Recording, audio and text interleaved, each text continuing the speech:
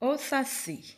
O Saci Pererê é um menino negro e muito levado, que tem uma perna só, fuma cachimbo e usa um gorro vermelho que, que tem poderes mágicos.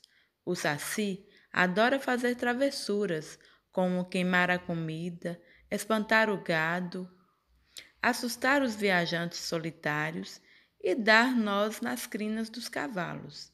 Dizem que para pegar um saci é preciso fazer uma armadilha com uma peneira.